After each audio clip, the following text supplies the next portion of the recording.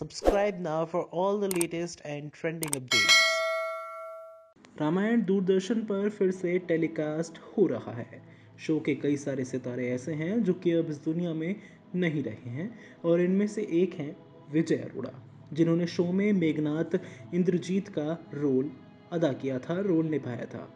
आज हम आपको विजय अरोड़ा के बारे में कुछ बातें बताते हैं।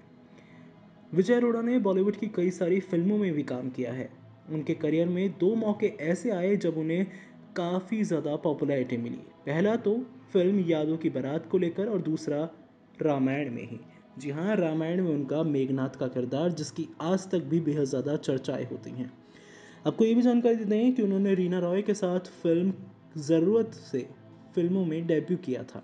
ये फ़िल्म साल 1972 में रिलीज़ हुई थी। ये रीना रॉय की पहली फ़िल्म थी। इसके बाद विजय आशा पारेख के साथ राख और हथकड़ी में नज़र आए थे।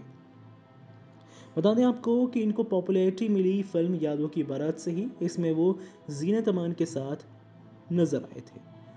फिर वो जया भादुड़ी, वहीदा रहमान, शबाना आजमी के साथ नज़र आए। उसी दौर की बड़ी एक्ट्रेसेस संग विजय ने पर्दे पर रोमांस किया। विजय ने जान तेरे नाम, बड़े दिलवाला जीवन ज्योति, सरगम जैसी कई सारी फ़िल्में की। उन्होंने टीवी का रुख भी किया।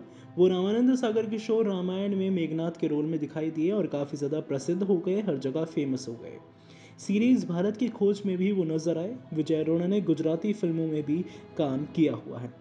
आपको बता दें कि विजय ने 110 फ़िल्मों से ज़्यादा फ़िल्मों में काम किया था। एक्टिंग के अलावा वो एड फिल्म्स और कॉपरेट फिल्म्स भी प्रोड्यूस किया करते थे। विजय ने अपने करियर में सफलता का हर स्वाद चखा। फिर 2 फरवरी साल 2007 को पेट के कैंसर की वजह से उनकी जान चली गई थी, उनकी मृत्यु हो गई थी। जी हाँ पेट का कैंसर उनकी मृत्यु का कारण बना था। विजय ने एक्स मॉडल और मिस इंडिया दिलबर से शादी की थी।